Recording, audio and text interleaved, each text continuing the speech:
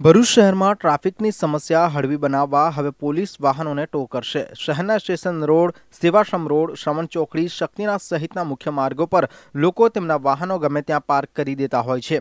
આડેધડ રીતે પાર્ક કરી દેવાયેલા વાહનોના કારણે ટ્રાફિકની સમસ્યા જટિલ બની છે.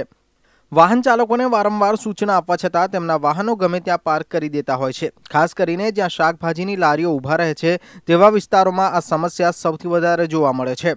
આડેધડ પાર્ક કરી દેવાતા વાહનના માલિકો સામે હવે દંડનીય કાર્યવાહી કરાશે. જો તમે તમારું ટુ વ્હીલર ગમે ત્યાં પાર્ક કર્યું હશે, તો પાંચસો પંચાણું રૂપિયા થ્રી વ્હીલર માટે, છસો પિસ્તાળીસ રૂપિયા ફોર વ્હીલર માટે, છસો પંચાણું રૂપિયા અને ભારદારી વાહન માટે સાતસો પચાસ રૂપિયા દંડ ભરવાનો રહેશે. તમારા ટો કરેલા વાહનને સ્થળ પર દંડ ભરી છોડાવી શકાશે અને વાહનનો માલિક હાજર નહીં હોય તો તે વાહનને કાળી તલાવડી સ્થિત પોલીસ હેડક્વાર્ટર્સ ખાતે લઈ જવાશે અને ત્યાંથી દંડની રકમ ભરી વાહનને પરત મેળવી શકાશે.